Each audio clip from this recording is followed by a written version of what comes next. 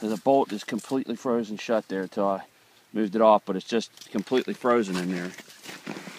So we're just gonna click the safety off. I can get my finger in here. Back up just a little bit. Ready?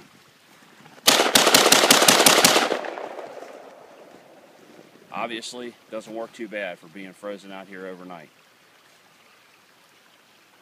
Peacemaker National Training Center, we recommend FireClean. You know to use it on all your ARs and, and all your handguns. Thanks.